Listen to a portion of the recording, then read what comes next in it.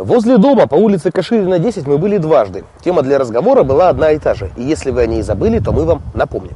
Прямо над тем местом, где ходят люди, болтался фонарь. Причем держался он лишь на проводе.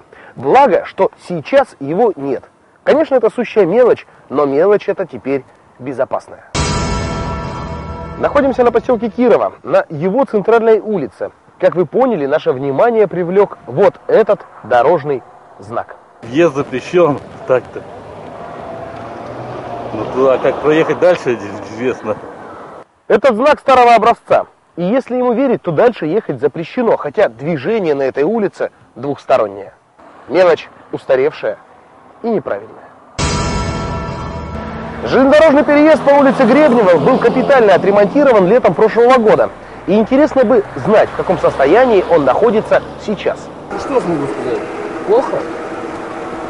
Плохо, плохо, Прошло чуть больше полугода, а здесь вновь требуется ремонт. Пусть и мелкий, но для водителей нужный.